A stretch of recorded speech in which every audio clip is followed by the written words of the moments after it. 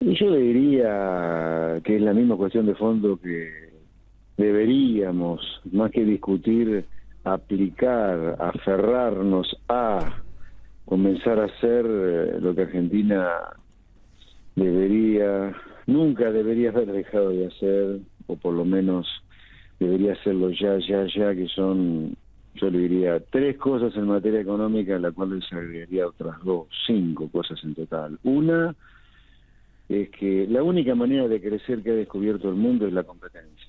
Sí. Y formarse, educarse mucho, pero después competir.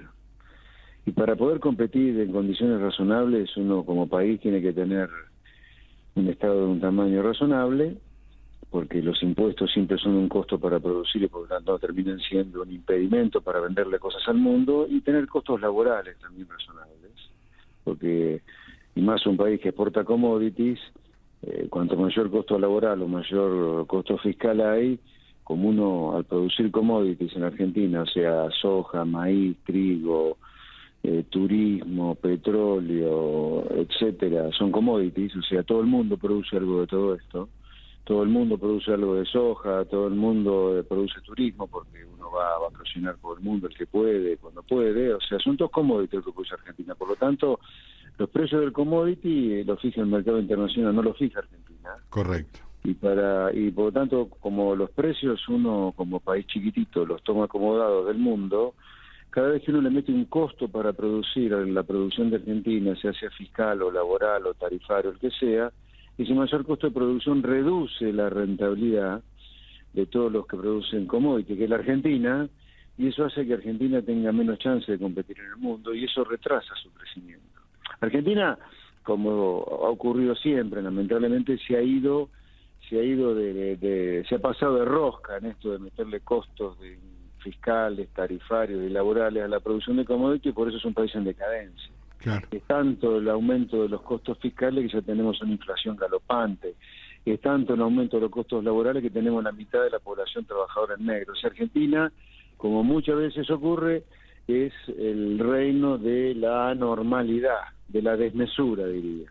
Y por esa desmesura que ha destruido la capacidad de producción de commodities en Argentina, Argentina es un país en decadencia. Entonces hace rato que Argentina debería volver a abrazar, como alguna vez lo abrazó, al comercio con el mundo como eh, el gran turba para poder crecer y para eso se requiere un Estado mucho más chico, que recaude menos impuestos, que no tenga inflación, por eso no tiene que tener déficit, y leyes laborales, o sea, costos laborales compatibles con el darle derechos al trabajador, pero al mismo tiempo para que esos derechos no hagan que se termine volviendo en contra del trabajador, como ocurrió hoy, donde la mitad de los trabajadores trabajan precarizados porque están en negro. Claro. Las empresas se funden cuando tienen un problema con un trabajador. Esta desmesura de lo que es la supuesta protección al trabajador argentino ha terminado siendo un boomerang para el trabajador, un boomerang para los empleadores, ¿no? es como la sustitución de importaciones. Hemos llevado a tal extremo la sustitución de importaciones que se ha vuelto en contra de los supuestos beneficiarios de la sustitución de importaciones, porque hoy hasta cuesta producir autos en Argentina porque hay, no, hay cubiertas o no hay eh, plataformas. las autopartes no están. Bueno, ahora, la sustitución de importaciones siempre termina así, es un boomerang la sustitución de uno termina sustituyendo todo, hasta de la propia producción supuestamente beneficiada por la sustitución de importaciones. Usted sabe que después de los megas anuncios de, del ministro de Economía y candidato a presidente la semana pasada, nosotros salimos a la calle con nuestros periodistas a preguntarle al empresariado, y no me refiero a la Volkswagen, sino al empresario jujeño, un taller metalúrgico, panaderías, etcétera, etcétera, si ellos estaban dispuestos o tenían planificado incorporar más trabajadores. La respuesta fue unánime, no. Nadie quiere incorporar trabajo. Pero escúcheme, eh, Argentina tiene el reino de las dos peores cosas. Mire, yo soy productor agropecuario con mis hermanos, en Pergamino, provincia de Buenos Aires, donde yo nací. Además de que he sido con mi actividad privada de publicar libros, ser profesor universitario y tener una cartera de clientes que me consultan por la economía. Y con mis hermanos, el problema que tenemos en Pergamino, tenemos campo, de soja y girasol, es que no conseguimos lambradores. ¿Y por qué no conseguimos lambradores? Bueno, porque reciben un plan social o en muchas empresas que yo visito, hay empresarios que no pueden expandir su producción porque no consiguen trabajadores para trabajar. En algunas no pueden ampliar la producción porque no tienen insumos importados para poder producir el bien final. Y por otro lado, uno se encuentra en la realidad que usted me dice. En muchos sectores hay empresarios, empleadores, comerciantes industriales que no estarían dispuestos a tomar gente. O sea, tenemos los dos peores mundos. Por un lado, hay lugares donde no se consigue trabajo y hay demanda de trabajo, y en otros lugares donde está la oferta pero no está la demanda. En algunos lugares está la demanda de trabajo y no está la oferta, y en algunos lugares, como usted me comenta, no está la demanda, pero seguramente debe estar la oferta. Entonces, Argentina tiene el peor de los mundos. ¿Y eso por qué es? Bueno, mientras esté la garantía del plan social, la garantía del empleo público, y es difícil, y con estos costos laborales para poder contratar, uno tiene un eh, problema con un trabajador y la empresa la llenan de multas y castigo que cierra, y es difícil que se contrate gente. Por lo tanto, acá se necesita, por ejemplo, de tantas otras cosas que se necesitan, una ley laboral o leyes laborales que tomen en consideración en la letra chica de la ley que Argentina es un país de pymes. Claro, claro. Y el gran contratador de mano de obra, obviamente, si que es un país de pymes, porque las grandes se han ido todas, tiene que ser consistente con lo que pasa con la pyme.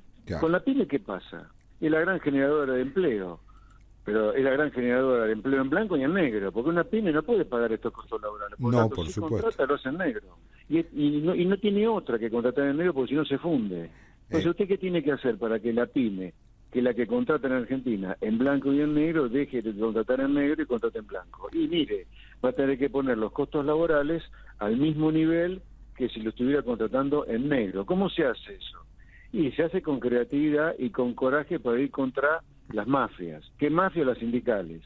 Usted puede hoy eliminar la indemnización por despido tal cual la concibimos hoy, que cuando uno es empresario, comerciante, despide a alguien, usted tiene que pagar la indemnización por despido, es un costo más que tiene, usted podría eliminar ese costo adicional y pagar ese costo directamente con la plata que ya aporta el empresario a una parte del Fondo de las Obras Sociales que van a obras sociales que no dan ningún servicio médico de 350 horas sociales, hay 300 que no dan ningún servicio médico en Argentina. Son una caja de recabación de los indigarcas, como yo le digo. Hay 50 solamente que le dan salud a sus beneficiarios.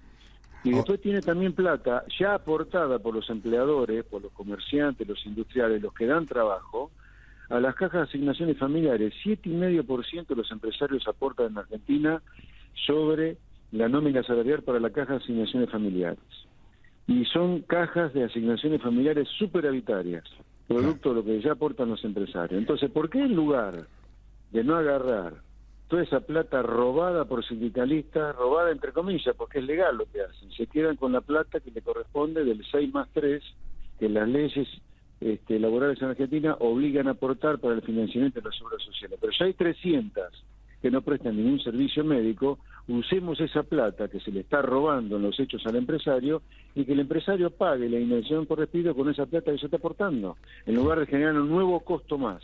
Claro. que le va a impedir contratar gente, que le va a impedir, que le va a impedir producir más, competir con el mundo y hacer que la Argentina crezca.